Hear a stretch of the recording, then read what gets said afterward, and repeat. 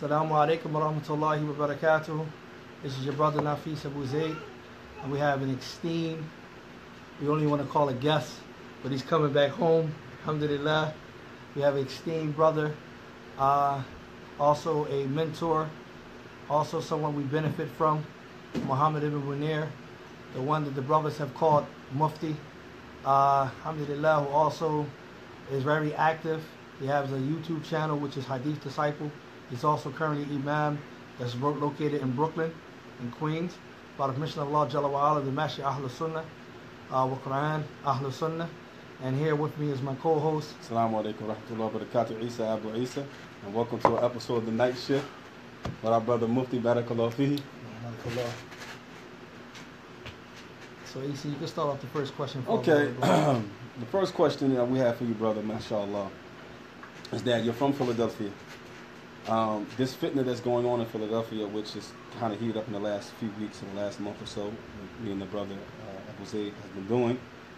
Uh, being from Philadelphia and seeing all the chaos that's happening here, what is your thoughts about what has been done in the name of Salafiyah by a particular group of people here in the city? We know who they are. Right, okay. Bismillah ar-Rahman ar-Rahim, alhamdulillah, salatu wassalamu ala rasulillah, amma ba'd. First and foremost is, assalamu alaikum wa rahmatullahi wa barakatuh. Thank you, Abu Zayd, Abu Isa, uh, Abu Zayn, Abu Sajid, all of the brothers here uh, who invited me. And by Allah's permission, made it easy, whether it was a, a ride or an idea or friendly push in the back to, you know, come and sit and talk with our brothers. That's first and foremost. And I'm happy to be on the night shift. Inshallah. Alhamdulillah. Uh, secondly is uh, we can't forget to give salutations and greetings to all Hadith disciples. Hadith disciples in Philly and outside of Philly. Uh, what I had, alhamdulillah, we just met a new brother. I think his name was Habib. I never saw him a day in my life. He said, you know, I'm Habib. I benefit from Hadith disciple. And I never saw him a day in my life. Well, alhamdulillah, many others. Okay, so the brothers and the sisters who benefit from Hadith disciple and who give any type of feedback, whether it's positive or negative, we're grateful. All right, and we make dua for them, whether that is hunt. As far as the question, then obviously it's a very long, extensive topic. I would say one of the ways of us realizing what's right and what's wrong, one of the ways of us, by Allah's permission, implementing what's right and avoiding what's wrong, calling others to it, and then having the patience and the forbearance uh, to bear down on the rigors, all right, of implementing the truth and act Yeah. and, and calling to the truth because it's not easy. It's a difficult thing. That's one of the first things you learn. One of the first books you learn as a student of knowledge, Islamic Muslim, is Rasul al And we know the author, he says that it's obligatory upon all Muslims to learn four things. And he says, first and foremost, al ilmu. Mhm. All right. And then there's what? Al amal bihi. Actions. Al da'watu ilayhi. Al rabi'a al sabru al adha fihi. He says, last but not least, is to be patient upon the harms that No. must ensue. Calling people to do something that's against their desires and their whims. No. All right. So I would say is we have to start thinking critically. We got to really start using our minds. And we know that the mind is one of the greatest gifts of Allah to man.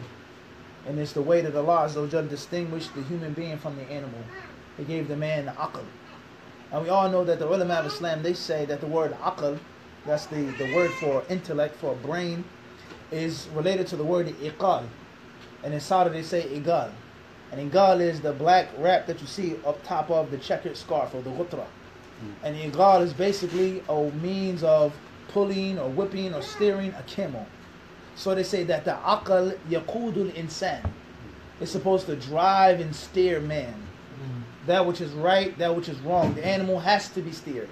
You have to have a muzzle or reins. You have to put a carrot in front of a donkey or an ass for it to walk straight.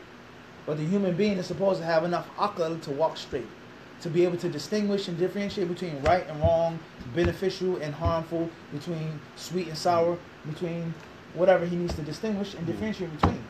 So I think that's one of the most important steps is for us to start using our brains, uh, for us to start using our minds.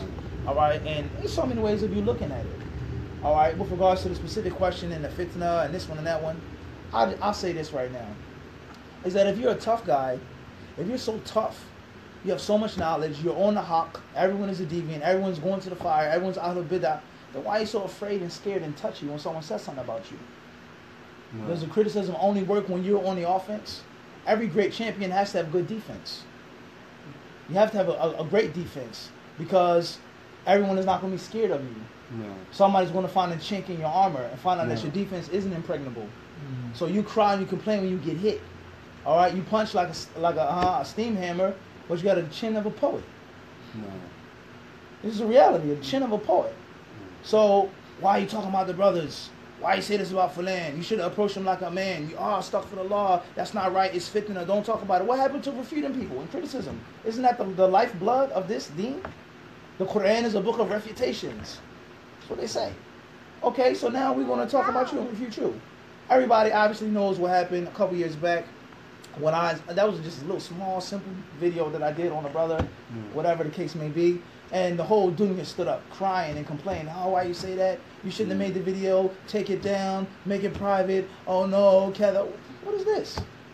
Your blood is sacred. Mine isn't. Your blood is your honor is sacred. Mine isn't. So one of the one of the ways for people to understand critically that something's seriously wrong is that when you bully someone, when you're on the offense, when you're attacking, it's okay. But the moment a rock is pelted at you, it's what? Peace, brotherhood, husnul dhan, and all the different verses in the hadith come. But when it's my honor, your honor, this match, this one is what? Drive the train. That's something seriously wrong. And if you can't see that as a layman Muslim, then something is wrong with your akal if you even have any.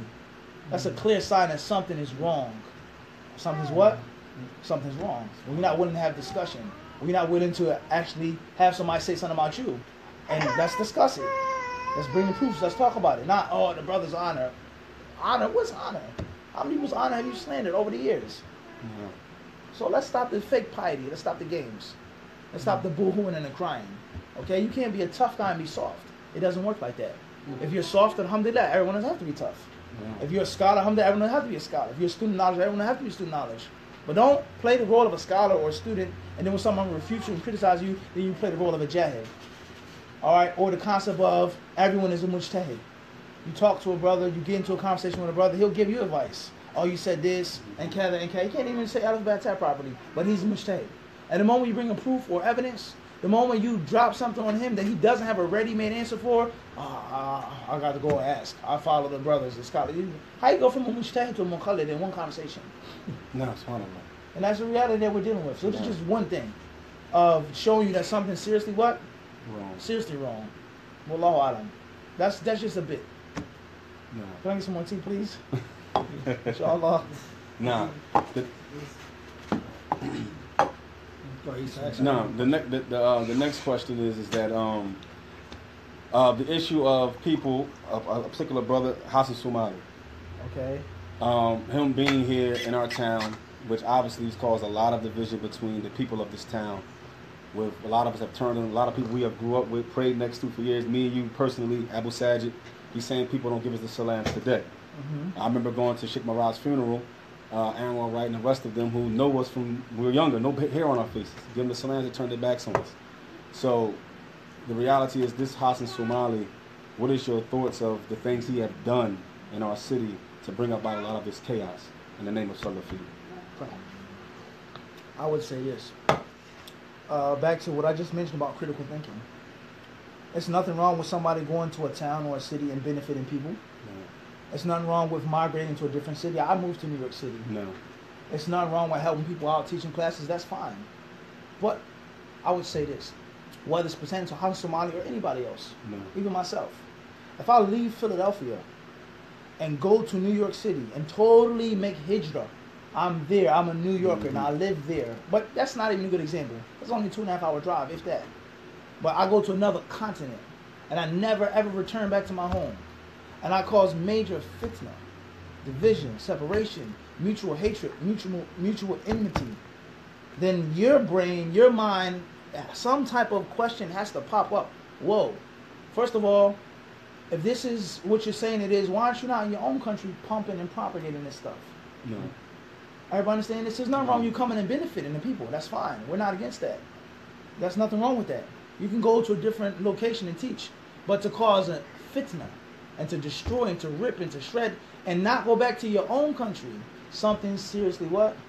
Seriously wrong. Now, I, I'll tell you this, and this is not uh, an attack or shot at nobody, but it's stock. One day I was in Medina and we met a brother from UK uh, and you know, you know, where you from, so on and so forth. And he said, yeah, I'm from Cardiff. He said, I'm, I'm, I'm Mhm. from Cardiff. He said, okay. I said, Alhamdulillah, how's it, you know, what's, what's up in Cardiff? Yeah. He said, nothing. He said, Cardiff is dead. There's nothing there. It's empty. It's void. So the question is, is that if somebody leaves their home and goes to another location and makes a major operation and movement, why don't you do that where? In your own home. That's the first question, critical. The second question is to cause fitna. And how do you become such a follower, hmm such a tag along? You see what I'm saying to you? In other words, if somebody said, well, if, if, it's, if it's so deep, then why don't you go home and do that then? And teach that and spread that there. I mean, how many other British people are in America? How many masters in, in UK? How many graduates in the UK? How many scholars will visit the UK? And yet and still they're all where? There. It's flooded. So something is seriously what? Something is wrong. Now if I went to New York City and I taught classes, I did khutbahs, I helped some people out, and said, Alhamdulillah, Mufti came to New York. But now I come to New York City, I start talking about people. I start forcing people. I start making people to follow me, to blindly follow me, to take me. Mhm. I cause division. I cause chaos and havoc and mischief. The first person, you, the first thing you gonna say, Abu Saeed, is what? Go back where? Home. Home. If you're so knowledgeable, Mufti, you have so much that you want to talk about and discuss and force people to do, why don't you do that in Philly? Something's what? Something's seriously wrong. So the critical thought is this. As far as, oh, hey, alhamdulillah, the brother came to New York and caused fitna and division. The haq. Huh? we supposed to separate and split and become the ma Obviously, we're not thinking what? We're not thinking critically. In the moment we stop thinking critically, Mhm. Huh? We are not utilizing the gift of the what? That Allah Azza wa Jalla blessed man with. وَلَقَدْ كَرَّمْنَا بَنِي Adam. Allah says, indeed, we have given the children of Adam nobility. We've given them nobility. And from the greatest things of nobility, Allah has blessed man with his what? Is the mind. No. Okay. Now, when we say the mind in akal, it's not to be misunderstood as some immature people think. Oh, you're with Ahlul Kalam or the Mu'tazila. No.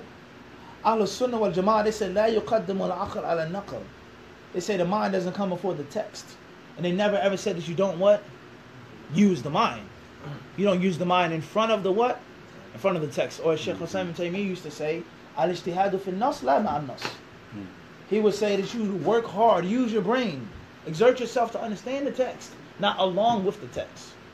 So one of the most important characteristics of any Muslim, let alone student knowledge, let alone imam, let alone da'i, let alone scholar, is aql. There's no doubt about that. Everybody on this? No. Yeah, yeah. And if you're not thinking critically, then something's seriously wrong. And the moment we stop thinking critically, we live in a situation in which we're in, No. whether it's Philadelphia or anyone else. Exactly. That's that's my that's what I would say about that. Wallahu a'lam. Brother Muneer, what was the turning point for you and the brothers, like Abu Hassan Malik, and um, a lot of the brothers from SPubs? What was the turning point uh, for you? Like I know they used to deal with you. They used to, Clear. you know, I would say this that as far as brother Abu Hassan, I used to look up to him, alhamdulillah, and I've benefited from him and other brothers as well. Okay, uh, I remember I was in high school. I had a book called uh, Studies or Modern Studies in Hadith Literature. Mm. Sheikh Al-Adhami, Dr. Al-Adhami, rahimahullah. It was an English book. I had it in my house. It's my father's book. It's one of the first books that really inspired me and caught my attention was Ilm al-Hadith. Mm. So in the books, they talked about the Isnad, Bukhari, this one, that one. It had a different uh, Asanid, Shajaratul Isnad, all the stuff in the book. So it was a brother, brother named Jamil, in Jamia Masjid. I took the book and I showed him. I said, "Have you ever heard of this book? Have you ever seen this book?" He said, "Nah." He said, "You know, you need to ask about this book." He said, "Go down what?" This was the old Dawah Center. What was that at uh, uh, Margaret? uh, Margaret, Margaret Orthodox. Oh, yeah, Margaret Orthodox. He says, go down there. Wow, It's a a brother time named ago. Abu Hassan. I was in high school. He said, go ahead down there and ask him about his book. He can tell you about hadith. So I went down there. Uh, you know, I, I told him who I was. This is the book. Mm. He looked at the book. He said, it's a good book. Excellent book. Read it and benefit from it. He said, read it and benefit from the book. Right. All right. This was before I knew Arabic and stuff. So ever since then, I always had a good relationship with him. Right. I used to look up to him. He, I would, you know, sit back and he would talk about Yemen, Sheikh Mhm. Mukbil, asking questions. Okay, no doubt I was young. All right, so uh, that's with regards to in how things used to be, even how Somali as well. Okay, everybody. All right, and that's another major problem. Before we go further, is something's wrong when everybody used to be friends. Mm. I used to teach you, you used to teach me, you borrowed my books, I gave you books, we talked about Masad with the Munaqsha. Everybody used to be friends. Something's wrong. And every single person that has been refuted in Philly was once what? Friends. Friends. Every last one. No. Where do you start? Who, who whose name you want to mention? Start with me, Tahir, Shadid, this one, Abu Muslima, Hassan Somali, Abu Hassan, Anwar. Everybody used to be friends. So how do people are friends, good friends for the Deen and Sunnah? There's not رجلان تحابا في الله افترقا عليه اجتمع عليه Somebody's going to say that. That hadith about the people that are under Allah's shade. Two men who meet each other for Allah's sake and leave for Allah's sake. Because it's not for Allah's sake. Hmm. It's not for Allah's sake. And the proof that it's not for Allah's sake is that the same thing keeps happening over and over again. You treacherous, you backstab somebody, you want somebody as your friend, someone is your student, someone's your teacher, someone is brother you should sit and eat with, talk with, study with, and then you stab them in the back. Hmm. You turn on them, you lie on them, you slander them. Hmm. Where do you want to start? Every last person that was refuted was also was all what? Everybody was together. Something is clearly what? Wrong. If you think critically. As far as if you just want to be pleased with not using your brain and just take it for it is, then obviously, oh, oh, he's a deviant. He was refuted. It's love for Allah and hate for Allah. It's not for Allah's sake. No. All right, so let's get back to the, to the lecture at hand. All right, um, it's well known that I was very young. Okay, I was always the youngest in the group, in the masjid, in the dawah center, in the jamia, in Masjid Salam. I was always the youngest. All right, that's how my life was. I always went older people. I was always the youngest. So when I went to when I said I was going to go to Medina, some brothers tried to discourage me, and some brothers encouraged me to go. Alhamdulillah, I wanted to go. And when I came back, uh, wallahi, it was a beautiful feeling coming back. It was a beautiful feeling. The brothers was smiling, shake, hug, mashallah, alhamdulillah, you stayed, this, this, and that. It was amazing.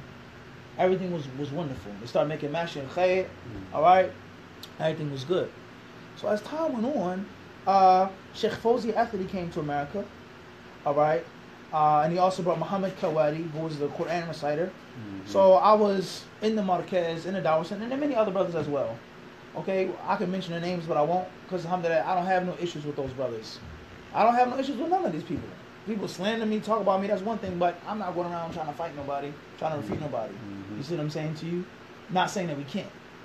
Everybody understand this, No. but that's just it's a waste of time. But at the end of the day, at the end of the day, the turning point is what?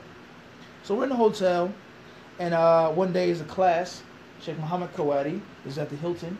All right, it's packed conference. So the main translator, I won't mention his name, he wasn't feeling well that morning. He said, I can't do it. He said, Muf, you got to translate. I was like, nah, man, you got it. SubhanAllah, he said, no. I said, listen, we need you to translate today. I never translated a live lecture before. I translated books, tapes, transcribe, but I never translated a live lecture. I said, all right, bismillah. So I went up there, uh, and I did the translation. The first time I was extremely nervous. I wasn't scared, but I was nervous. And alhamdulillah, by Allah's permission, everybody, you know, they was like, wow, it was amazing, especially for your first time. They're like, you're a natural. You're born to do this. You have a natural knack at translating. The shake and everything was like, you did a great job. No. All right, when that happened, that's when everything started going sour. All right, everything started going sour. I won't mention the brothers' names. I can't mention the names, all of them, and they know this. They know this. I can mention all the names from A to Z, but I won't. Everything started getting real funny. There was personal meetings with the sheikh in the hotel. Everybody would be in the Center and say, "Oh no, you do this. You stay here." One brother, I'm- Allah, if I mention his name, he actually said, he says Mufti. He said Mufti, huh? Not Muhammad Ibn He said Mufti. He said this. He said the sheikh needs some cups for his room. Can't go down to the bar in the hotel and get some cups and bring it up to the sheikh's room.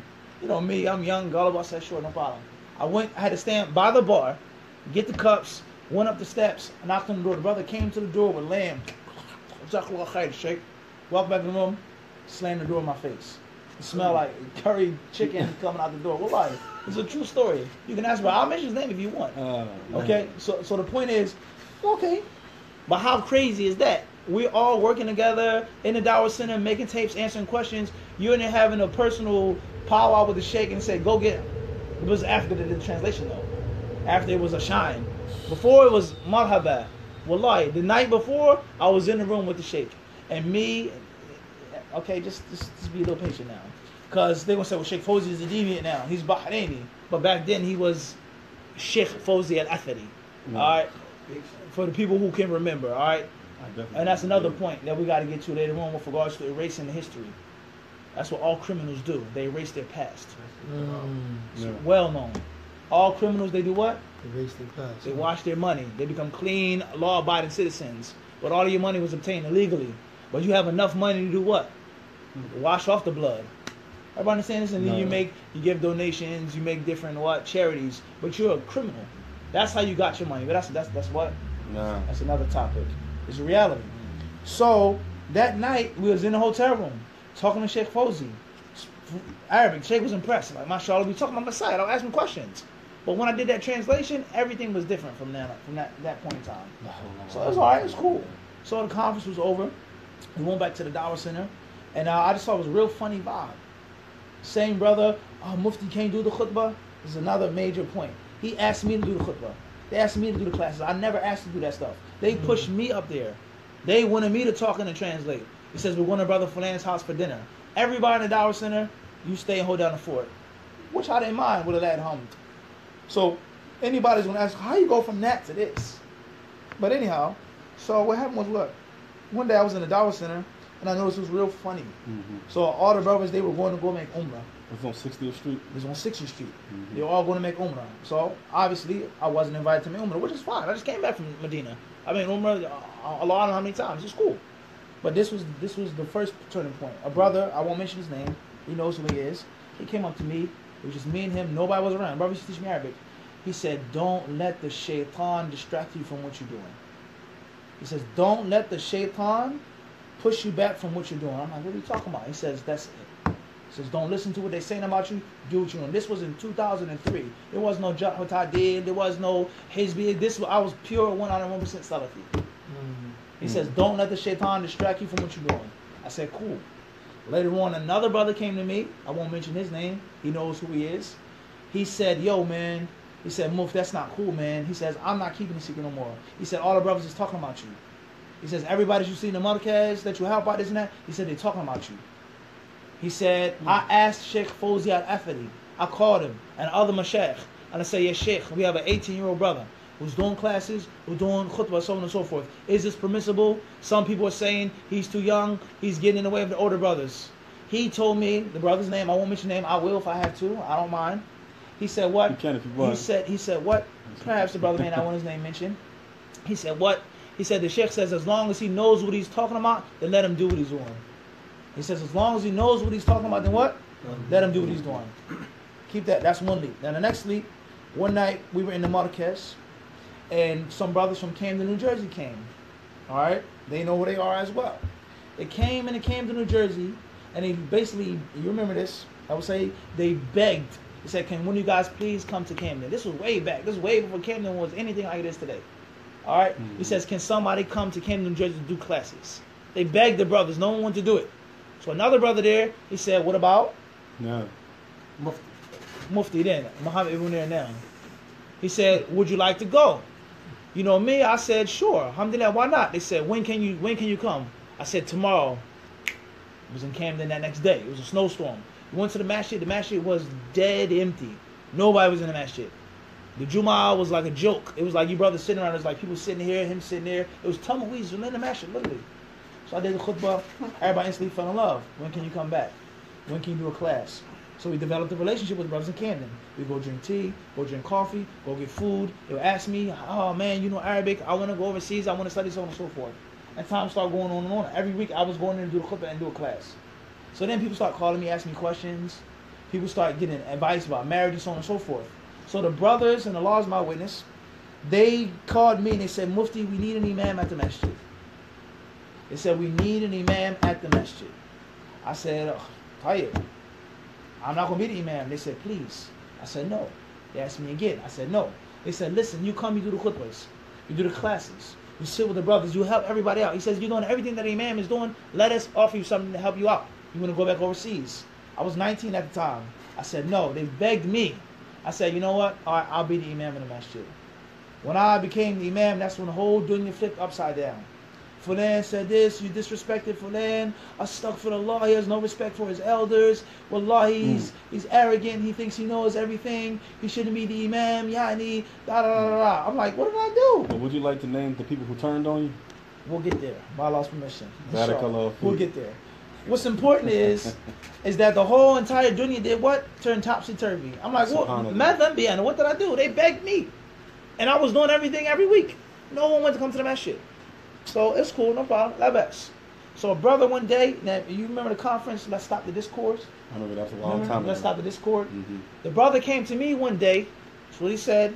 Pulled me to the back of the Camden Masjid, and he said they're having a meeting about you right now. He said the brothers that you see, this one, that one, they're having a meeting about you, along with the brothers from Birmingham. Remember when they came? He said Yeah. they're coming to do a meeting about you. I said about me. He said yes. I said what? He said they're having a meeting about you. He says be careful, watch your back. That's what he said. I can name every single name. I'll give you every isnad. Okay? If you want to do, uh, he's lying, right, we can prove everything. He said, watch your back. He said, they're out to get you. There's no deviance, Ahlul Bidah, Hizbi stuff. Okay? No problem. So as time went on, I stepped down from being the imam. And this going back to the original question about our brother Abu Hassan. Yeah. So I, I, I resigned on the minbar. When I gave the khutbah, Abu Hassan was sitting down in the crowd. He walked up to me. He said, "You," or, or he didn't say it to me. He said it to other brothers. He said, "Mufti shouldn't have done that. He shouldn't have resigned the way he did, and he shouldn't have announced to the people that I'm going to be the imam." That's what he said. How can I win? I be the imam. People attack me. I step down from being the imam. What? People attack. What am I supposed to do? So no problem. So a couple days later, or maybe like a week later, uh, I remember they brought in a U-Haul truck, okay, and they brought in uh, Abu Hassan's library, tons of books, all right, tons of books. Abu Hassan came up the steps. It was me and him in a room in the library. This was after Dawud Adib had left Camden. He came as well. I also had stepped down because Abu Hassan came to be the imam. Then who died? Abu Wais. Abu Hassan left Camden. He went to Bashir Rahma. Then Dawood was the imam in Camden. Then Dawood left, then came back. What? Abu Hassan. Or, or Yani, truth. Let's let's go even deeper than that. Before Abu Wais had passed away. She going back in the, in the show. Okay, Tayyip, this is oh what, what 13 years, 14 years ago. Yeah. He came, he was the man before Dawud D. He Mhm. walked up the steps, he gave me a hug, and he apologized to me.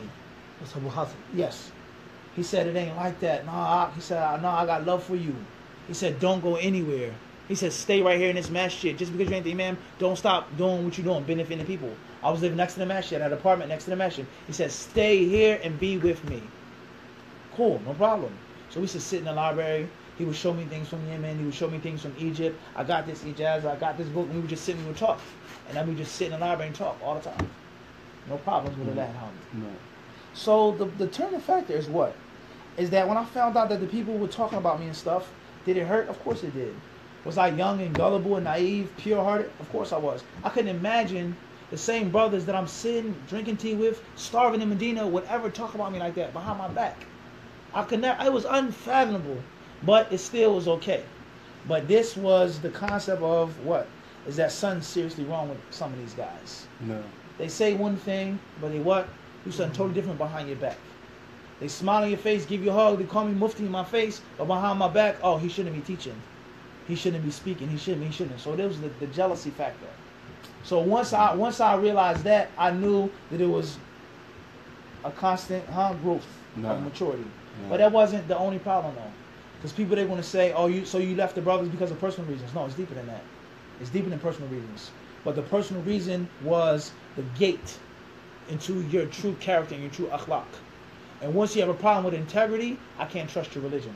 And this is one of the greatest lessons that we take from the sciences of hadith.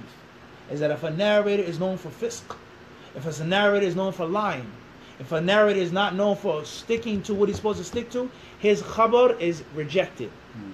No matter how strong his memory is. And the exact opposite, if a narrator is an innovator, if a narrator has other issues, but his ha his hifz is strong and his deen, his adala is, uh, then his narration is what? Could be accepted depending on the situation. But that's another discussion. No. The sciences of hadith. So the bottom line is, from that point on, I knew that I had to really pay attention and look who I was with, and that I could not trust most of these people. And I'm not talking about one brother specifically. I'm not talking about what? One, One person specifically. This is in general. All right? So as time went on, alhamdulillah, I went to Yemen. Mhm. And I continued to learn. I continued to benefit. Then I came back from Yemen. Then I went to Medina. I continued to learn. I continued to benefit. And I'll say it openly and publicly. Uh, if I'm a deviant, if I'm a Hizbi, maybe I am. I'll accept that. Know one thing for sure though, is that I'm a deviant. I'm a Hizbi. I've left Salafiyah based off of what I believe to be the truth. That I honestly studied and learned and saw certain things and read certain things and heard certain things and went and studied things that made more sense to me what I had learned, heard, and seen other places. So me gradually moving away from these brothers, becoming friends with this one, and saying this and doing this, it wasn't because I had personal problems with them, or I hated them, or I was jealous. No, no, no, no. But it was I believe that I was miseducated, and I was mistaught. Did everything they say to me and teach me was it wrong? No, not everything. That's ungratefulness. But much of it was, not all, but much of it was. So therefore, uh, we take another leap. I'm in the college of hadith now. Then you start talking about Anwar. You start talking about the brother uh, uh, Abdul Wali. You start talking about all of them. Uh, and then you start talking about Tar and that whole thing, and that whole fitna. All right? And there's no doubt, Allah, alhamdulillah, open up my eyes, open up my ears to see, inshallah, the truth. Yeah. So, the bottom line is that what? Is that um, there's been a very long saga. I've seen a lot, I've read a lot, I've been through a lot, personal stuff, religious stuff. And basically, I'm doing what I feel is right. If I'm wrong, may Allah forgive me. If I'm right, then that's between me and my Lord. Before you move on to the next question, because this is a very, very long discussion, as I said, No. my advice to every listener and watching is make sure what you're doing is right. Make sure that you got sincerity. Because a deviant who's sincere has a chance with Allah than someone who's Salafi and he's not sincere. His heart is full of jealousy and envy. He's a total blind follower. He's fanatical. Are you really sincere for Allah subhanahu wa ta'ala? Do you believe that that's the truth? Do you believe this person is an innovator? Do you believe that the wrath of Allah is upon this person? Do you believe that? Do you believe it's better to drink a cup of khamr than to listen to this guy? Do you really believe that? La hawla wa la quwwata illa billah. Can you stand in front of Allah with that? If you can, mashallah. And if you can't, if you can't look yourself in the mirror and ask yourself an honest question, you really need to reevaluate yourself. And I would say that's the case with most of the people today. They really don't know what they're saying and what they're talking about. And they really don't believe it. And the proof that they don't believe it is what? If you catch one of them by themselves, they'll speak to you and shake your hand. No. Uh, But they want to group with the people, and then it's, oh, something's wrong. So that's in brief. Once again, this is in what? No, indeed. That's in brief with regards to how I changed, how I evolved. Would the brother say Mufti used to be like this? No doubt about it. I did. And obviously, according to many of your standards, I probably am a deviant, according to your standards. Mhm. Who is Salafi and who's not Salafi? What's the brother? He, we had an argument in Mecca in a Turkish restaurant. He said anyone who doesn't call himself Salafi is Ahlul Bidah. Hmm. La hawla wa la quwwata. Jamil Finch. Jamal Finch made this statement. Yeah, we had. A, you can ask him. Years ago, we were on the Hajj. We were going back to Medina. He said anyone who does not say that they are Salafi is Ahlul Bidah. Alhamdulillah. Now, this was years ago. This was before I was really, you know, a total deviant myself. Hmm. I said, "What?" My mouth dropped. I said, "Are you serious?" He said, "Yeah." So we had a nice talk. So the conversation got heated in a friendly way, though. No. We left the Turkish restaurant. We got into the cabin. We went to Medina. He texted me on my phone. You know what he texted me? He said, "Yo, Muff, man, you smashed us tonight, man. You right." That's what he said. So the point I'm trying to get to is, just one point. point, and not calling out names, which we can. That's not the point. That's not the point. The point I'm trying to get to is what is that many people they'll say, no, you can't say that about Muhammad ibn Muneer. Sometimes you can say that because there's certain principles and things. That's an example of them. If that's what you believe that Salafi is, then I'm not Salafi. As Imam Shafi rahimahullah ta'ala said, if loving Ahlul Bayt is being a Shia, a Shi'i, then, then call me what? If that's what if that's what Shiism is, if loving the Prophet Prophet's family members, if that's what you call it, know that. So so that's just one example of a sick perverted understanding. If you don't call yourself Salafi, you're automatically from the people of innovation. If that's your dawah to Salafiyya, then I'm what? No doubt about that. And I say that walillah alhamd. Now other things are clear lies, clear misconstrued facts. Some stuff I never even said, never even did. All types of stuff. But there are certain things in which I don't believe are correct. And knowledge base. And if you want to talk about them and discuss them, then let's come and let's sit and let's talk. But with conditions. And the first condition is don't don't quote a modern day scholar. Mm. The second condition is if we have a munakasha, we make a condition that we start off based off of munakishin and not muqallidin. Don't start off the debate with proofs and evidences and principles, and then at the end of the debate, you just, I, I follow the ulama. I submit to the ulama. No, if you're going to take off the gloves and that's the what? Don't tap out and say you hit me too hard. And obviously, none of them are willing to do that. No. Mm. And there's reasons why, which we don't have to mention right now. Mm. So that's that's in brief. That's only what? That's only in brief. My next It's question much to more you than that. is how do we remove how do we remove the shubha that you and uh, brother Tahir White, Sheikh Tahir White is calling to yourselves in the removal of scholars back at back in the east. Right. How do you remove that doubt? I don't try to remove that doubt. Anything that I say or most of the stuff that I do is live stream. Check it out. What books do we teach? What books do we read? Those not the books of the ulama? Sahihain, Bukhari, Muslim, they're not the ulama? No. Sheikh Muhammad Al Imam, one day in Yemen, he was asked about people who say that you don't call it to minhaj. Antum la tudarrisun kutub al minhaj. You don't teach the books of minhaj. You know what he said? He said Sahihain, Sunan Abi Dawud, Tirmidhi, Musnad Ahmed, Muwatta. He says that's not kutub al minhaj. He says kutub al hadith. That's not the, the way of the salaf in there. So that don't even make sense. That don't even what? Make Mhm. sense. Now, if you if what you mean is we're not translating a lecture of a modern day scholar and every single talk and every question is a modern day scholar, if that's what you mean, then I agree. I agree. I agree. But if you mean that we're just making up stuff and everything that I say is based off my opi- opinion, my view, what I think, what I feel, and I say this not being boastful, I don't think there's anybody that's explained as many books as we have on Hadith Disciple. Mm-hmm. And that stuff that's on the channel is only a small piece of the books and stuff that we teach. How many books have you finished? If I asked you, how many books have you finished? Mm. Make sharh and ta'liq. So what is what do you mean we're, we're, we're calling to ourselves? What are we supposed to call to? That don't even make sense. That's a lie. But if you mean a specific scholar or group of scholars, then perhaps. And this is another example of how, if that's what your Salafi is, then I guess I'm not Salafi. And I have reasons to say this. And I have proof and evidence to say this. Huh? Isn't the concept of following the Salafis to take the people back to the what? The past. So how does that even make sense? That's just pure stupidity. Okay, so Yani, and, and last but not least, okay, no problem. Let's say if I said I want to teach Sahihin, and you want to do a book of this modern day scholar, does it mean I'm deviant? Mm. Allah is angry with me because I, I want to teach a different style than you? What, the, what type of stuff is that? Yeah. What type of intelligence is that that you're using? And that's another issue with regards to when is allowed and not allowed to differ and to disagree. Mm. But that's a whole nother discussion. Now, um, the next question would be: There's another uh, shubha they try to use. Um, maybe you can put some clarity to it. The issue of when we say our people, when we say our city, when we say that you know we're not going to take it anymore, we're going to say, well, our people deserve better. We want schools, we want social reform, we want wealth building, and you have brought us nothing but chaos. So we're saying that for a law, and then for the fact for the jealousy of our land and our people, we think you guys need to be out of the way. So they try to say this is a nationalistic speech. So. I would say this: the average person in Philadelphia studied in Saudi Arabia. Some brothers went to Egypt, some brothers went to Yemen, benefited Mauritania, but the average person went to Saudi. mhm. I don't think you can correct me if I'm wrong. I don't think there's a radio program in Saudi. I don't think there's a school, a scholarship. I don't think there's any type of dawah, any type of educational program that's done, except that Al Mamlaka Al Arabiya Saudi is attached to it. Mm. Am I making this up? Every single program that they sponsor, you clearly see that it's done by what? The Kingdom of Saudi Arabia. Everything. What's the reason behind that? What's the wisdom? How does that apply to this? I'm trying to show, I'm trying to show you something.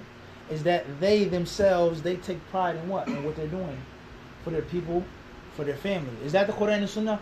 I'm not saying that. I'm trying to make a proof. Is that the ulama that you claim to follow and cling to and clutch? What do they do? Mhm. Everybody understand this? They deal with their problems there. Everybody understand this? What's going on? Their social ills, their ups and their downs. That comes what? First. And that's why Allah tells us in the Quran that we've never sent a messenger illa bilisani qawmihi, Mm. except in the tongue of his people. What's the purpose of that? For his people to do what? Understand him. وَأَنذِرْ عَشِيرَكَ عَشِيرَتَكَ Allah says, and warn your ashira. Allah says what? Al-aqrabin. The people who are closest to you. So if I say that my priority is for my people, I want to benefit my people. We have certain problems and ills. It doesn't mean that I'm a nationalist. It doesn't mean that it's only for my people and that no one else is welcome. But at the same time, if I'm in front of my people, I'm going to address the problems that what my people have. And that is something that you learn when you live in Saudi Arabia for over 10 years. The first thing that they deal with is what? Their problems, their issues. Everybody understand this? No. Why all the classes in Arabic? Except because of what? That's the, what they speak. No. Everybody understand this? The zakat the fitr is given in what? They give rice because that's a staple food of what? No, the people. So the point is, and, and, and, and you, you got to understand, son, the concept of people that are weak scholastically, don't have the proper knowledge. They have to call somebody a name. Mm. That's the first sign of somebody that doesn't have a lot of knowledge is name calling, name tagging. And that's why Imam Shafi used to say, Man nadartu aliman illa ghalabtuhu. He says, I never debated with a scholar except that I beat him. I won. He says, وَمَا نَاظَرَنِي جَاهِلٌ إِلَّا غَلَبَنِي أو مَا نَظَرْتُ جَاهِلًا إِلَّا غَلَبَني He says, and I never debated with an ignorant fool except that he won. Meaning, I've proven why he's wrong and why I'm right, but he says what? You're wrong. It gives you a name, a derogatory term. Mhm. So instead of dealing with the situation at hand, whether it's fragmented homes, Right. whether it's drug abuse, whether it's unemployment, whether it is self hatred, whatever it is, you're a nationalist. Yeah. Okay, and this is one of the pillars of their corrupt dawah, is avoiding the situation at hand and abusing people with names and terms. If you don't believe me, then just transcribe their lectures. I guarantee you can have a dictionary of names and terms. Mutasattir, Mutalawin, Hizbi, Mudabdib, this, that. You don't love the ulama. That's the same thing that the grave worshippers said to Ibn Abdul Wahab. When he said the shirk is haram, they said you don't like the, awli- the awliya. You hate the awliya. I don't hate the awliya, but shirk is wrong. It's not about black, black, black, black and Philly. No. But I still have issues that I have to deal with with my what? My people. So that's common sense. The moment you deny that, what good is your brain? Yeah, exactly. There's other proofs and evidences, and that, that's a way of looking at it. You see what I'm saying to you? No. Wallahu alam. No, in the uh, master's program, right? Uh, when you was doing your thesis, right, for your dissertation for your master's, what was Okay. um, what was the actual um, thesis result? If you could benefit Right. us. The thesis, uh, and when you do a master's program, there's two ways of writing your thesis. You either do dira- a mawdu' or you do tahqiq, or tahqiq or dirasa. Mhm. You either write your own book, your own topic, or you take a manuscript, a makhtuta, an original manuscript, maybe 100 years old, or much more than that, obviously. You may take a manuscript maybe 1,000 years old. Literally. 400, 700 years old, all right? Depending on the scholar, what century you lived in. If you write your own topic, let's say, for example, a compilation of hadiths on buying and selling, or you write a topic, uh, the science of criticism in the fourth century, Mhm. Or you take a makhtut, a book that Ibn Hajar wrote, a book that Ibn Abdul Barr wrote, a book that Imam Ahmed wrote, in the original manuscript, the hand, hand, handwritten, and then you turn it and you print it out and typeset it, and you give the annotation, the references. You do a study of Imam Ahmed's life, his Mhm. students. You do a study in the background on the book, the importance of the book, the status of the book. So what I did was I did a tahqiq and I did a I did a study of a manuscript, an annotation and an editing of a manuscript. Even though my original idea was to write a topic, but that's a long, long discussion. That's a long discussion. So the actual book is a is a famous book in the Hanafi madhab called Al Hidayah. It's not the biggest book or the most important book, but it is an important book. It's called Al Hidayah. All right, uh, uh, Al Marghinani. Uh, came along a great scholar who was from the uh, Horn of Africa, Azayla'i rahimahullah. Okay, he did a study on this book, in which he referenced all the ahadith and all the athar. When the author says the Prophet wiped over his head covering, the Prophet ﷺ, he told to Ibn Umar to take your wife back. Where can this hadith be found? Where did Ali ibn Abi Talib radiallahu anhu decree to fight the Bughat, the people that refused to obey him? He didn't call them Khawarij either. That's another discussion. Nah, they weren't what? Khawarij Bughat is different. Mhm. Everybody understand this? And the only reason why I mention that is because of just the ignorance of the people today, calling everybody Khariji, which is foolishness. At the end of the day, where did Ali say this at? Where did Umar anhu say that the woman who loses her husband has to wait for a certain amount of time before she can remarry? The takhrij, the original source of this hadith or this athar. So Az-Zayda, rahimahullah, he came behind him and he wrote a book called Nasb al-Raya, fi takhrij ahadith al-hidayah. Then after Az-Zayda, he came the great champion, Al-Hafidh bin Hajar, okay, who died 852 of the Hijrah. We all know Bulugh al-Maram, Fath al-Bari, Mhm. all right, Nukhbat al-Fikr, Taqrib al-Tahdib, famous books.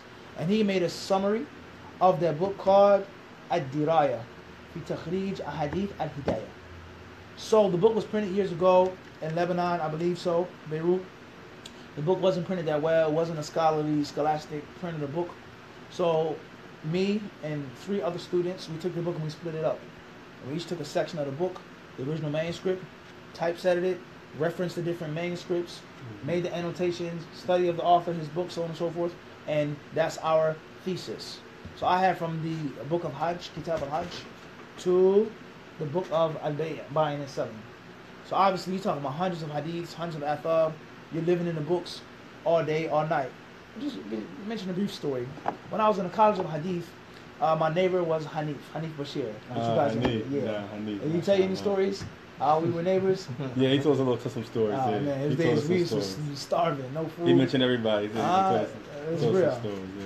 So Hanif, he told me one day we were in his library in his house, and he said there was a brother who's doing his master's thesis who got sick. I said, "Yeah, how did he get sick?" He said he got ill from sitting in the chair for such a long time that Mm. something was wrong with his back and his his his behind. I was like, "What?" I said, "That's impossible." What are you talking about? He said, "I'm telling you, it's true." So later on, when I was doing my master's thesis, it was days you'd be sitting at the computer with your books in your library for so many hours. There's times I have bruises on my elbows from my elbows being in the chair, Mhm. typing so long, sitting, referencing so long. T, T, T, eyes bloodshot red, studying, writing your book. No. So the point I'm trying to get to is, is that um, uh, I benefited tremendously from the work. Uh, and as the librarian of the College of Hadith said, he said to me when I was leaving, and he bought a copy of my book for me to, to put it in the library. He said, "You guys are lucky." He says, "You did a book that is practical. You have ahadith al ahkam, the hadith of the halal and haram, marriage, divorce, buying, selling, hajj, all these different things, funerals, amen, nuzur." He says, "Other people they do books that are just theoretical." He says, "You actually have the meat and the potatoes of ilm al hadith." the halal and the haram on a daily basis. That's what he told me. And I think, this is a little off the topic, this is one of the problems that the people had with me going into the master program. And why they were so jealous and so envious and just so nasty is because they're afraid. They're afraid.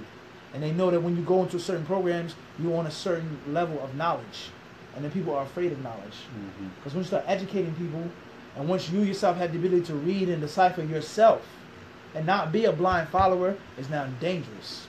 That's why, obviously, you want to talk about being a nationalist and being a black nationalist or whatever they say, why did they prevent slaves from learning how to read and write? Because they knew if they learn how to read and write, then they would what? They'll be empowered, and their authority will be clearly questioned. They didn't believe that black people was hanging from trees like apes and monkeys. They didn't believe that nonsense. No, they didn't.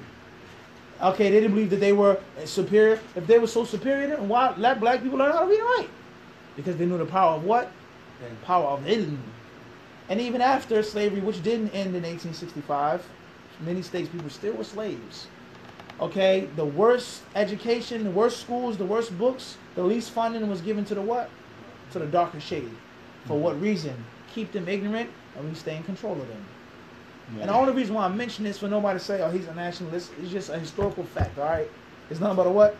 A historical fact.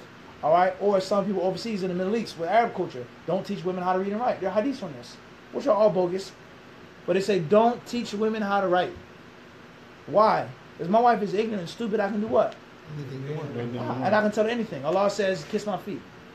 The Quran says to her, lick my toes. That's the wajib. No, No, this is this is reality. So if we can just li- li- li- li- listen how this whole thing plays out now. If we can just translate classes to the people, and not have somebody that's uh, has the ability to, and it's not about pride or but this is the haqq, someone who's actually studied and benefited from these books and can derive the rulings and make his own explanation, this and this and that, based on the kalam of the ulama. We can't have that because he's going to start exposing our lies. Let alone he's going to embarrass us. I can't even recite the Quran properly. I never studied nowhere. I never benefited. He got a master's degree. So the master's degree means nothing. It doesn't mean anything. Sheikh Mukbil ripped up his master's degree. That's what they say because they want to keep the people what dumb and stupid. Mhm. And only the ulama. We trans Everybody understand this? We can filter the information that you get. It's no different than the people on 45th and Walnut that don't allow their followers to read the Quran mm-hmm. No. and don't allow their followers to read any books of hadith. You're not mm-hmm. allowed to read nothing. We tell you what you can and cannot do. Subhanallah. Now, and it says it sounds a little extreme, but if you think about it, it's what? It's control. It's the same concept. Only listen to this scholar. Only take from these brothers. Only take from this person. Only listen to this translation. A few years ago, before he was refuted, Ahmed Bazmoul, obviously he got refuted and just mysteriously disappeared. No one is talking about anything about him anymore. He they translated that you can't take a translation of a Hizbi or unknown translator. So where's Sahih Bukhari go? Where's Sahih Muslim? Where's Kutub Sitta go? Where's Ibn Kathir? Who translated those books? Yeah, they don't know. What was his motive? Everybody understand it's the dictionary. Webster's ah, Webster's Merriam. So the point I'm trying to get to is, is that when I got into the master's program, I met a whole nother level of hatred that I never knew existed. Subhanallah. I never knew existed of, of Hasad. It was ten times worse than before. And one of the reasons why they try to downplay it so much, so what? Tahir White has a PhD. PhD doesn't mean anything. The ulama, uh, what I said to Anwar, Anwar wrong. I mean, Anwar right. When I said to him, I said what? I said, I said if the PhD don't mean nothing, why does Sheikh Rabi have one then? Mm. Subhanallah. So that, that's that's stupidity once more. So the point that we're trying to get to is is that it's reasons why they try to downplay who they try to downplay to control the people and to keep people dumb and stupid. I can control you because you don't know anything, and the one who does know more than me and can teach you, no, he's a deviant. Leave him alone. Don't take from him. Indeed, he doesn't call to the ulama. Subhanallah. It's a game. If you can't see that by now, 20 years, something's wrong with you. Nah, subhanallah. Now, could we uh, just say, you know, the, uh, last thing is, is um, some of the teachers that you have benefited the most from in your travels overseas. I, I, I, I could mention the names, but they're unknown. And someone might say they're deviants. All of it, uh, uh, what about some of them mention- that's known? mention some of their names, though? Mention some So of their names, no the, most whether they known or influ- the most influential teacher that I had in the College of Hadith is named Dr. Saud Al Jarboui. Hafidullah. All right? He was one of the most notorious teachers in the College of Hadith. He was known to be harsh, to be mean. Brothers would take the exam, they would walk out the room making dua against them. I saw it. Literally. He would make you write an exam, mention the proof, mention the madhabs, fulan, udkur, udkur, alif, bayin, uktub, akmin. You were you go in this exam, you would take a whole two hours to write his exam. I didn't take two hours, alhamdulillah, or hour. Well, alhamdulillah, I would normally qu- finish quick. Hmm. If I knew the stuff, I knew it. If I didn't know it, I didn't know it. So Saud al-Jarboui, I was blessed by Allah for him to teach me four times. That's four semesters, in, in, in, uh, equating two years. Now, you know, the College of Hadith had changed. Back before I went there, they used to teach Nail al-Autar as the main subject, It's fiqh hadith, but they switched it to Muharrar. So the Nidam changed a bit. Mhm. Okay, you know, you know, back in the day, College of Hadith, even to this day, but back then it had a severe reputation for being the most back-breaking college in the school. And even when I got there, perhaps we'll mention some of those stories later. At the end of the day, he was tough. Mhm. He was known to have no mercy. He was known to have a lot of uh, place emphasis on memorizing and being strong. So most brothers, you only have a teacher only once, one semester out of eight, out of four years. That's it. Mhm. I was blessed for him to teach me four years, four times in two years, different times. So I got a chance to really benefit from his style. I got a chance to be inspired and motivated by his his raw passion for hadith and for fiqh. No. You see what I'm saying to you? So he was the most influential teacher that I had. All right. No. There were many others as well in the school. Um, uh, Abdullah Musaid, Dr. Abdullah Musaid, he helped me out tremendously in fiqh sunnah and ilal, manhaj al-mutaqaddimin, all types of stuff like this. As far as those who are well known outside of the uh, the University of Medina, then obviously, alhamdulillah, I sat with all of the mashayikh in Medina. What did I all of them? When I was Salafi, when I became a deviant, when I left, when I was, I sat with all of them. What did I There's no alim, alhamdulillah. I sat with all of them. What alhamdulillah, the whole list. But the main sheikh that I had when I was there was Sheikh Abdul Muhsin Abad. Sheikh Abdul Muhsin Abad, in which he would teach Kutub Sitta. And I say this as a, a interesting fact, is that in 2002 and 2003, when I first went to Medina, I was 18 before I got to school. I snuck and went and sit with Sheikh Abdul Muhsin Abad. Because back then it wasn't cool to sit with him. He was, uh, we don't say he's a deviant, but they would say he, he teaches Kutub Sitta, he doesn't know Jannat Hadith. He doesn't know about the Rijal. Lie. Well, I need, I Well, need, wallahi, was this specific group that's here and still without a doubt, active? without a doubt. we know who they are. They know who they are. But it's, thi- this was taboo. You couldn't say this though. It was uncool to sit with Sheikh Abdul Muhsin Abad in 2002. Uh huh. The only person that was like American that was sitting with him was probably Umay Sen. Mhm. Uh, he was sitting with him back then. All the other Western brothers, you couldn't. It was like you had to sneak and hide. So I went to his classes on Sunan Abi Dawood and 40 Hadith because I said what they saying ain't right. And this was back when. So don't say it's just a new thing. Mufti became a deviant because of money. He went to New York because of money. He started translating because ah, that's that's not true. So the same people that's accurate. causing the chaos in Philadelphia is the same people that are saying that. He- hear me out, Sheikh. Listen. So I actually went to go like sneak, uh, to go sit with him, and obviously when I sat with him, I was amazed. Okay, so the point I'm trying to get, we can mention this for days, story after story after story, and if I'm lying, then ask them, tell them to say prove it or what, or disprove it.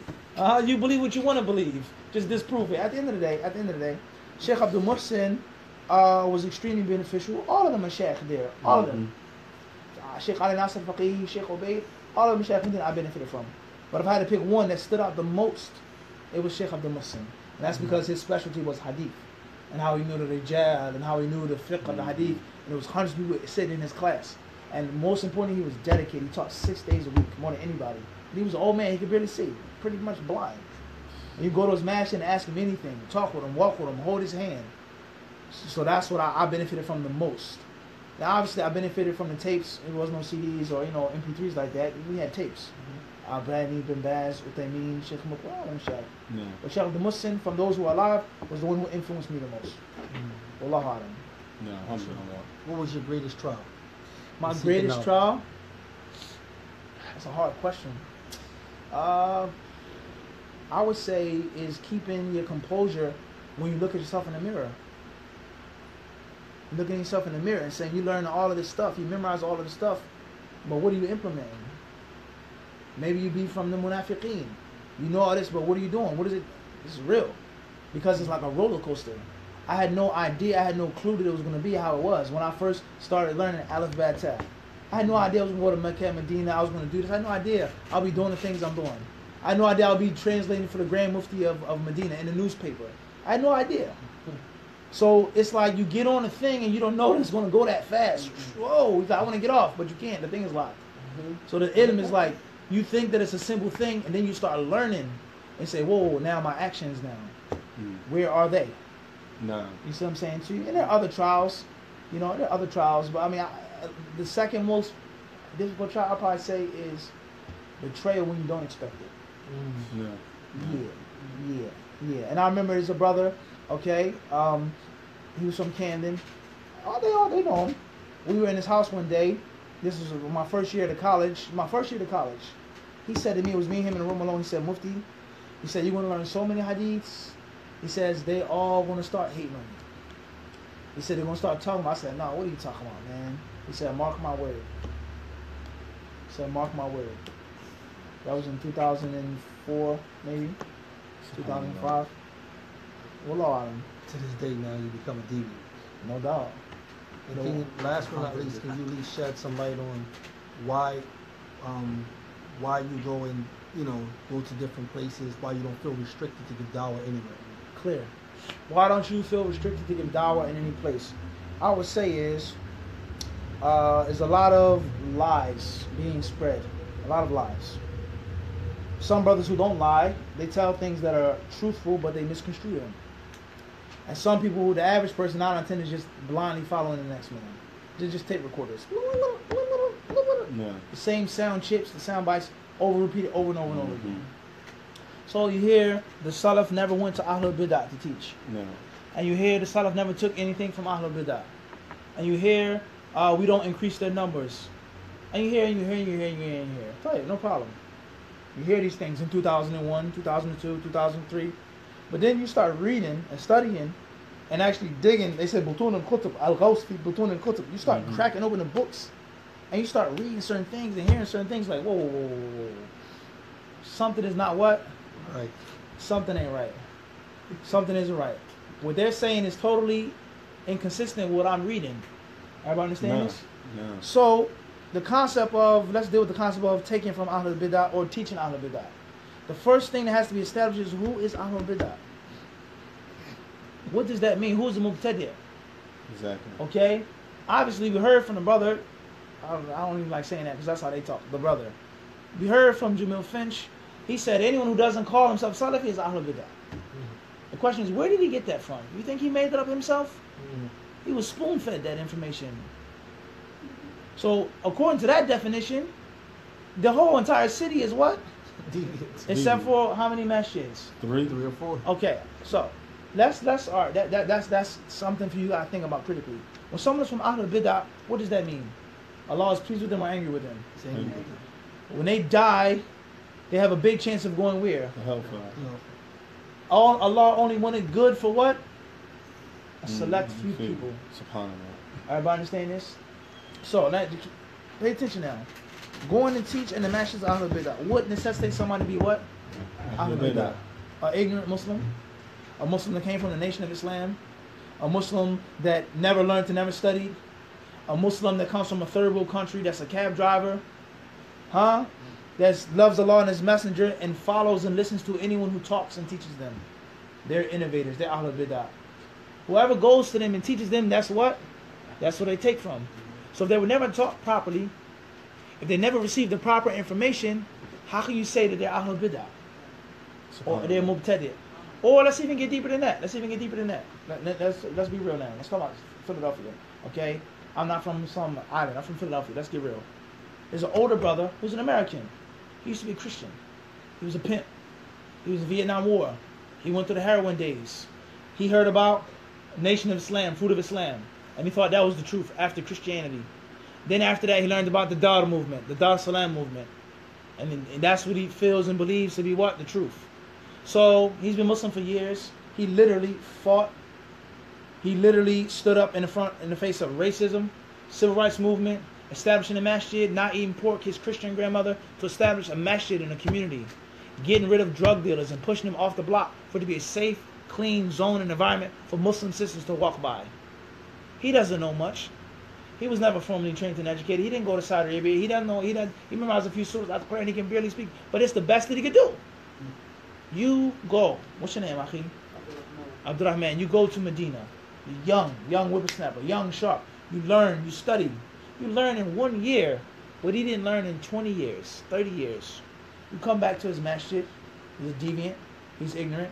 He's stupid. He's Ahlul Bidah. Everything you do is wrong. I'm going to take over the masjid. Give me your daughter. Give, I'm going to take over everything. What do you think he's going to say? Subhanallah. He, the first thing he's going to say is, we was fighting drug dealers and stuff when you was what? Before you was born. Now, I'm, I'm trying to prove a point here. Is that this person, he didn't reject the sunnah because he doesn't like the sunnah. There's no Muslim that doesn't like the sunnah. There's no Muslim that's going to deny the fact that the best Muslims were the what? The earliest Muslims. Mm-hmm. But you come, no respect, no wisdom, coming from a country, Saudi Arabia, that he thinks and believes conspires against black people in America, and the list goes on. What is his? What is he going to do? He's going to say, "Get the heck out of here." So once he runs you out of that masjid, you can't come back and teach that masjid. You go back and say they don't want the dawah, they don't want salafia, they don't want the sunnah. They're now label what? Ahlul Bidah. Nah. Subhanallah. And if you don't think this is a reality, then just look at what happened in this city. I'm not making this up. This is this is what happened in most masjids. No. this happened, Yeah. So the concept is of just labeling someone an innovator, Ahlul Bidah, is extremely dangerous. As Shaykh Islam ibn Taymiyyah said that tabdi' and tafsiq and tadlil, these min bab al-asma'i wal ahkam. That's giving somebody a ruling, calling someone a mu'min or a kafir, a fasiq, a asi, a ta'i' or a muti'. These are rulings that can't be thrown around.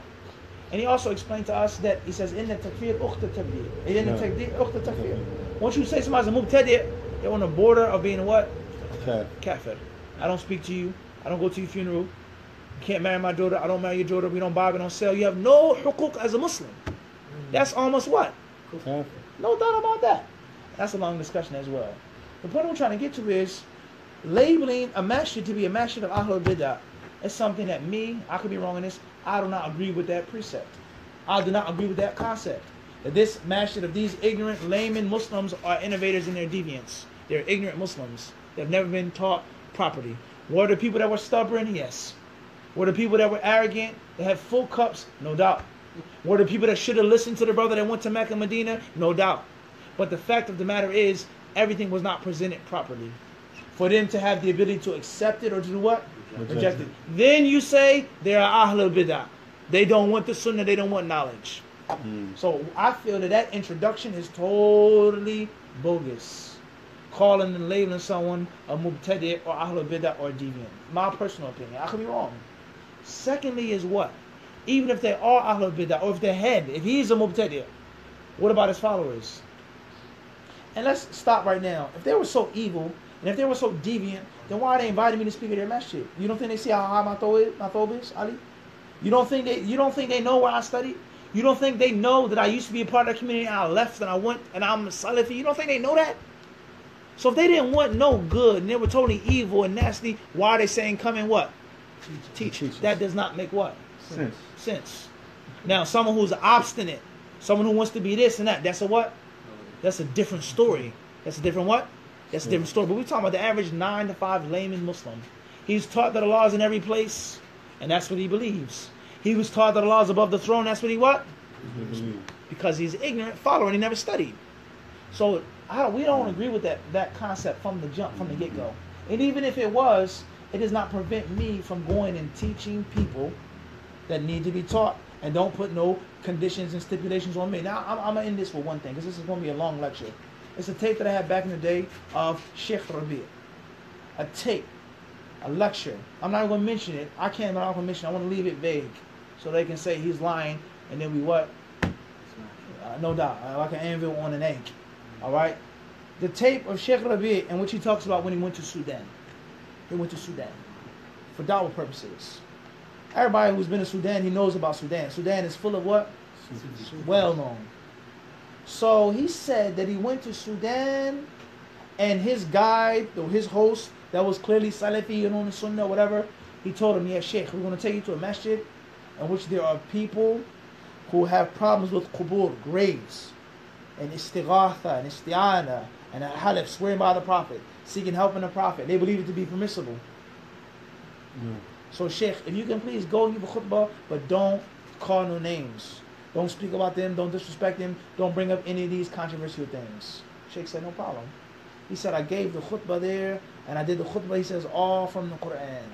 On the ayat about calling on other than Allah, invoking other than Allah, seeking out for other than Allah. And that's the only thing I spoke about.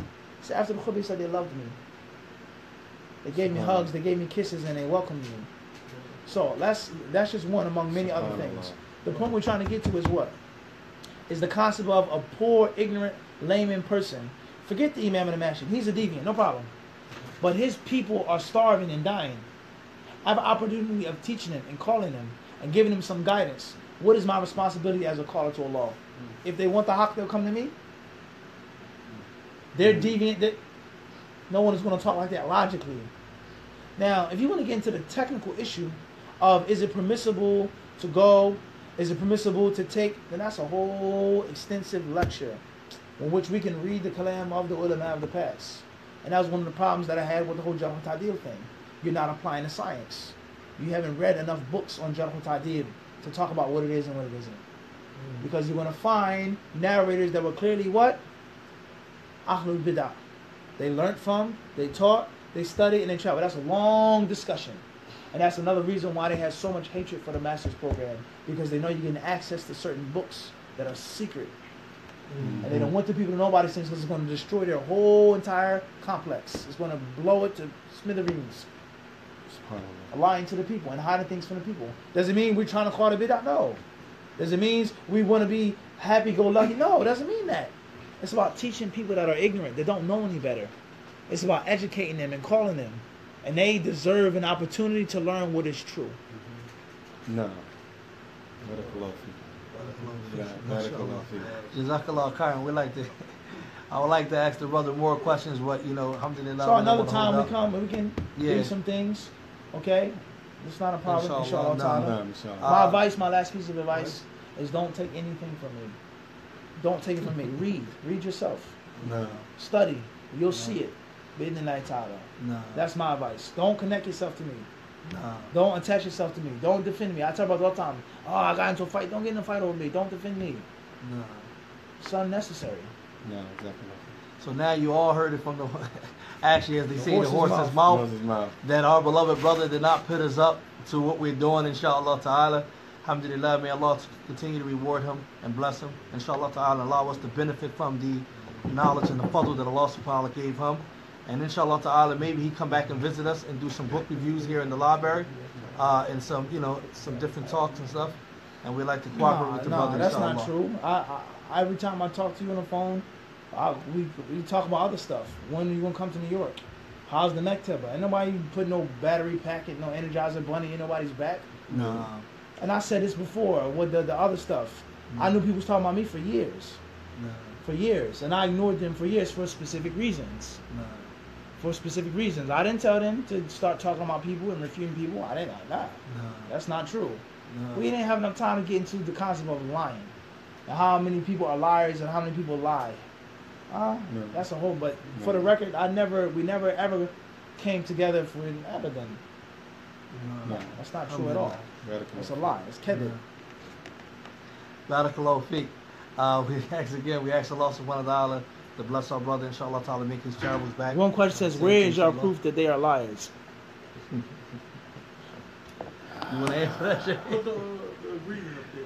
Jay, you want to answer that? Put the agreement up there. The proof that, but well, what first? I mean, Abu Isa said that we are trying to do what? Push people to do these interviews and you know whatever you want to call them, reputations, whatever.